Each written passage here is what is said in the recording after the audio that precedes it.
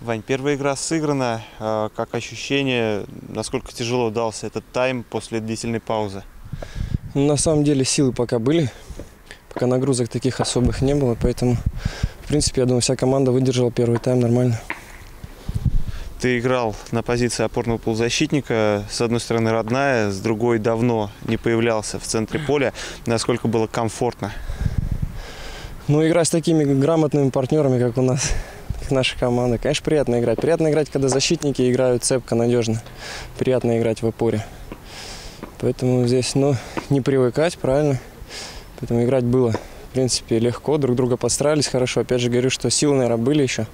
Сейчас посмотрим, как завтра будем двигаться. А за прошлую игру могу сказать, что играли хорошо. И, в принципе, чувствовал себя на этой позиции нормально. Были уже индивидуальные беседы э, с тренерским штабом, может быть, с Гажем Муслимовичем обсуждали твою роль на поле в будущем, как он это видит? Ну, нет, еще на самом деле бесед никаких не было. Я не знаю, как с кем, а со мной, в частности, Дим, привет. Еще не было никаких бесед. Поэтому, ну, я думаю, что все впереди, еще побеседуем, расскажут видение. Есть определенные перемены в составе, в частности, как раз со Станиславом Другуном, первым новичком нашей команды вот в это трансферное окно. Э, Пришлось играть непосредственно в центре.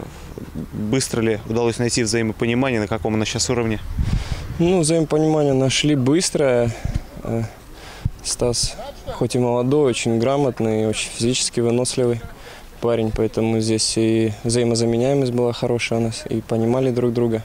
Ну, недаром человек э, таком юном возрасте уже попадает в состав сборной национальной. Много ли изменилось в тренировочном процессе? Э, Год назад, э, я знаю, очень много бегали на первом сборе, сейчас в основном все через мяч.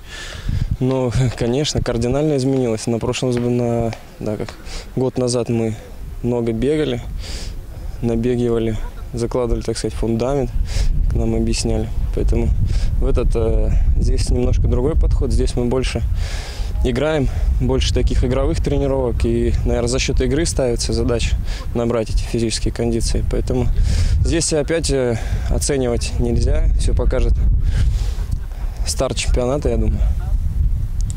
Что какая подготовка лучше, наверное. Завтра еще одна игра, но какие-то токсические занятия уже начались, то есть э, насколько глубоко идет именно проработка э, взаимодействия на поле. Опять же, схема немножко поменялась э, у команды в первом матче, во втором тоже ждать нам чего-то, вот каких-то уже наработок именно на сезон.